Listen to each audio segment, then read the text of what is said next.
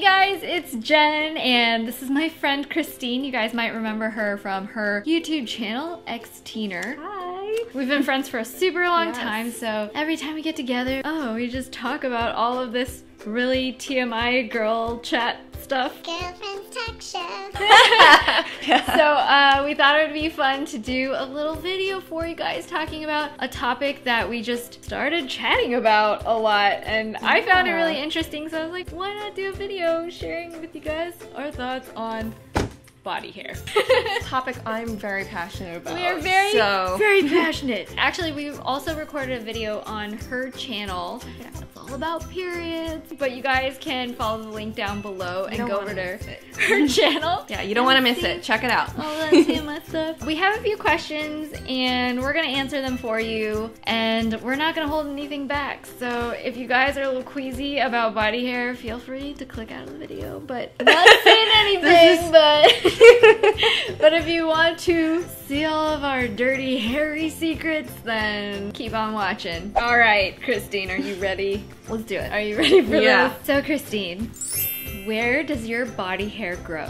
So I I'm seriously a really hairy person, so it grows just about everywhere that would be kind of normal for it to grow. Yeah, like your hair on your head. Lashes. long lashes. I, I really I'm a hairy person, so I have hair everywhere. So you know, I have hair here. I know some people grow their hair like right here too. They might have like a stray one or two. I don't have that, but I really have hair everywhere, like all over my face, even on my neck.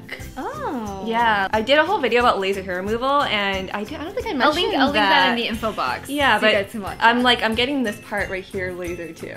Oh, That's Oh, wow. so weird, right? So like right here still hairy, but like right here. it's just like aggressive baby hairs, like this Yeah, thing, right? I mean it, it does still like poof out, but yeah, I have a lot of hair. It's not like man hair. And don't feel bad about this, guys. Mm-hmm. Seriously, there are women who do grow beards, and it, that's just the reality of it. Yeah. So I don't have hair We're all just as coarse as that. Yeah. It's okay. It's okay if you got some hair. It's Mm-hmm. That's why we're talking about reason. this. Yeah, that's why we're doing this video. I'm not a particularly hairy person. I would say I have less hair than most people. You, she is so lucky. Like, if you look at her legs, it's we're like gonna, spotless. We're gonna do a little like gymnastics little stretch here. Uh, that's the leg. I I've actually never shaved my legs. That's just that's so unbelievable to me. They're not hairy. Yeah, it's a little They're weird. not. They're bare. They're like completely bare. And like my arms, they'll have like tiny little baby hairs, but you don't really. Like I probably couldn't pinch them. You could pinch my hair. No, I can't pinch Yeah. them too little. That's a pinch test. yeah. Like that's how you know you're hairy. But otherwise, I guess it grows in the usual places, you know, like the girl bit region. Oh, Everybody, we women, we have that. It happens. And then I have like, a little bit of armpit hair. It's not like not a lot, but it's it's definitely there, and I have to like take care of it. We're like on the opposite ends of the spectrum. I'm very hairy. She's got some sparse areas. Yeah, but it still it still requires like regular Ma- maintenance. maintenance. Well, if it's your choice, we're Yeah. totally open minded to that. Mhm. It's just You know. for our personal choice. I like to maintain the underarms. Oh I don't want. I don't. I You don't want this I don't want it happening. like that. no. No. Okay, so in terms of removal methods, we're gonna go through the list. So Ooh, let's start with legs. So I usually do shave it, but I did try sugar waxing. Ooh, what's that? it before. It's literally like you make a paste out of sugar, so it's almost like caramel, and you use that to Ooh. wax Whoa. yourself. Yeah. So know. I've tried that like a few times. It's Uh-huh. tough to do, but it's worth it if you just don't want to keep shaving. Do Really you have do to shave at home? Yeah, it's like probably better to get it professionally done. It's actually kind of tough to to conquer. but- Get in there. Yeah, it's actually tough to like get your wrists to do the flex and everything. yeah, but yeah, but I think that's really cool. I mean, a lot, I have a lot of friends who are all about sugar waxing. Like they get it Oh. professionally done. It's supposed to be less harsh on your skin. Mm-hmm. But yeah, for the most part, I do just shave because I have to shave almost like every day for my legs if I'm baring my legs. We've already discussed that. I've never shaved my legs. Yeah. Sometimes I feel a little self-conscious because like the tiny baby hairs, you can see them in the sunlight, but I don't want to go through the whole like stubble cycle. Oh, So no, that yeah. you know, because it would be prickly. So I just I don't do anything. I I totally suggest not even touching it. Like just let it let your smooth legs be. You I know. be. What do you do for for these these puppies? The underarms. So I'm I'm currently getting that area lasered. Oh, so, fancy. Yeah. So I only have to shave it like once every week or two weeks now. It's pretty awesome. With laser, every time you go in, it treats your hair follicle, so it kills your hair follicle so that it doesn't or doesn't Hi, grow back. Hi. Hey, there's some armpit Yeah. hair. I'm very furry. Oreo has some armpit hair as well. Oh yeah. Hi, buddy. It's all right for him though. Good on ya. I mean, I've epilated under there. I've never gotten it waxed, so for the most part, I just shave it. Yeah. What about you? I used to religiously epilate my underarms, which I feel like is a really great option It is so because it stays away for a really long time. Yeah. Like yeah. You can go like a week or two in between, Mhm. depending on how much hair you have. It might not be a good option for people who are really sensitive and, and find it really painful, but I thought it was bearable. It's bearable if you don't have so much hair, but I think naturally the underarms is just one of the more sensitive areas. Yeah. So if you have a lot of hair under there, like I did, It could be really it was painful. yeah, it's just a task every time. But for me, it was worth it just because like I prefer it to look cleaner. You know. I actually used to take tweezers and do that like one by one, and My- that would like does give that. me neck cramps, and it would take such a long time, and it felt like it was more painful. So the epilator. Oh, because you're doing it one by You one. guys, if you don't know what an epilator is, it's like a mechanical thing with like lots of tweezers on it, which sounds like a torture device, but Yeah. it's actually not bad. Yeah. It just spins on its own, so it's like always plucking, but it has kind of like guards, so you're not just ripping your skin or anything. It doesn't mm. pinch your skin. Oh, when you get Yeah. sweaty, it can pinch you. So you got to keep Baby it dry. that, yeah. keep it dry. but now I actually am using an at-home laser. I guess it's like not dissimilar from you, except yours is fancier.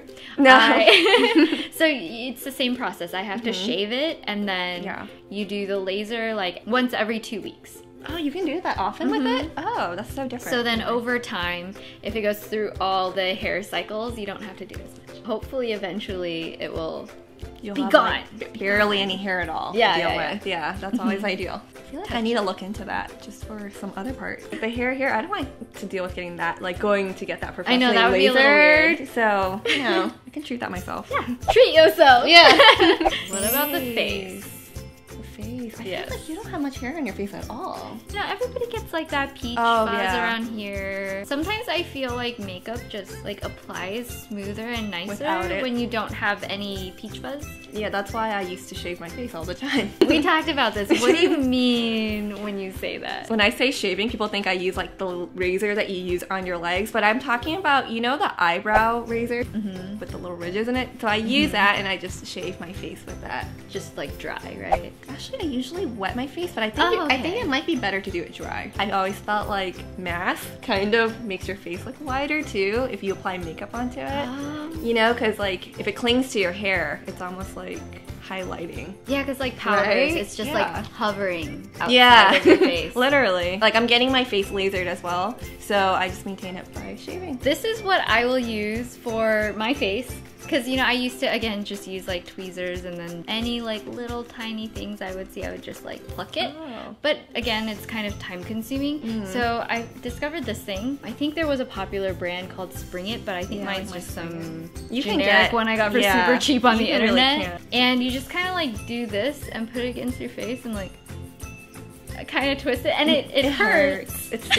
it stings. If you look really closely, it kind of grabs the little baby hairs. Yeah, I, I used that once upon a time too. Inside the little spring. It's not going to be like if you have like mustachio problem, but it's more just everything looks nice and smooth and clean Right. and nothing's really shadowy once you get rid of it. So I don't really do it regularly, but Oh. I would say maybe once a month. Or What? like whenever I just randomly get the whim to, Oh. because you can just do this while you're like watching TV or you know five minutes by by the mirror. Wow, just once a month?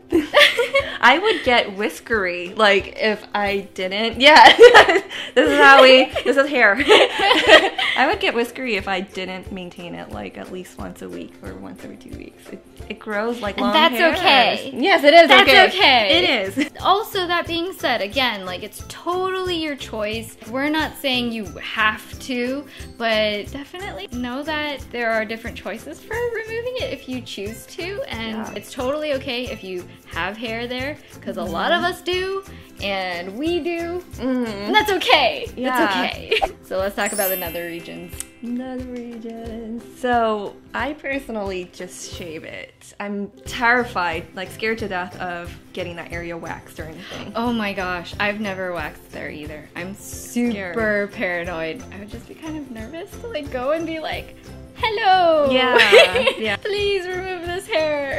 I think yeah, I think I'd be pretty shy about that. For me, it would be ideal to get it lasered maybe one day if I can get past the awkwardness. You know of what? it. I have had friends who had really good experiences. Yeah, with I've heard good getting. things. So like, if I mm-hmm. were to do laser, it would probably be Oh, that would be my armpits and then. So, do you have any hairy stories or like embarrassing stories? It's almost like bullying in a sense, but I Yeah. believe back it was I think it was in middle school. I was in Spanish class and you know, I didn't shave my face back then. Like I just had a ton of hair. I had hair that was pretty much like wispy right here, like right above my brows, and my brows are pretty much like these hairy blocks too. No, but you have amazing eyebrows, especially from for an Asian girl. all I the feel like time. it's like a mixed blessing. I guess so. Yes. Yeah. Okay. So there's this one girl who was like, "Are your eyebrows on steroids?" She was just completely mean about it. Victoria's eyebrows are definitely. Are they on steroids? I don't know if you guys. He has eyebrows. Look, they're like He does. little dots on his Yeah. face. I actually didn't even know what to make of that because it just kind of took me by shock with how blunt and rude it was. That is really rude. Yeah. I didn't shave back then, but I think that made me very aware of how hairy my face was. Yeah, I didn't really What a even do jerk. anything. Yeah, I didn't even really do anything to my brows until high school. I think I told my mom's like, Mom, I really hate my brows. So she started helping me tweeze them and Oh, shaping them because They, oh, they, look so nice. well, this is after years of experimentation and like shaping them, but seriously, they were like caterpillars, like wispy caterpillars on my face. You guys, you have to know that these eyebrow shapes, these are not our natural eyebrow No. shapes. I had like sparse but kind of spread out eyebrow Oh. that's like slightly pointy in the middle. oh, really? Yeah, and then and then I would have a lot of stuff underneath here. I had very funky eyebrow shapes. like, you, you just go through the phases of figuring it out, you know? I mean, if you want to see what my natural eyebrow shape is, I have a brow tutorial where I let my brows just like grow out completely so that I Yeah. can do the process from But your brows ground zero. good though. Like Thanks. they're pretty contained. They're not like all over the place. They're more contained now than they used to be. you know, I just remembered something else. I have these Oh, areas me right too. here where only only baby hair grows here. Yeah. And I was always really self-conscious because I felt like I had a really bad receding hairline. Oh. But that's just naturally how my hair grows. that's how mine So, is like, too. Like I have like I like like, two triangles areas. right here, kind of. Uh, I just felt really self-conscious about those What? areas. Yeah. Don't be mean, people. I guess for my hairy story, I want to say this was either really early junior high, like maybe shortly after I started the whole puberty kind of Yeah. thing. I never thought about my upper lip, like Yeah. ever. And then one day there was this girl who was a couple years younger than me, and she came up to me and she was like, You have a mustache. And I was like, I, I didn't know what to say. I was so shocked and so like hurt that I was like, no, I don't. You have a mustache. But she didn't. She's like, no, I don't. And then I just, I ran away. And I remember for the next week, I just stared in the mirror every day and I was like, oh my gosh, I have a mustache. but it's so normal. I know, but Yeah. but nobody tells you these things when you're younger. That's I was true.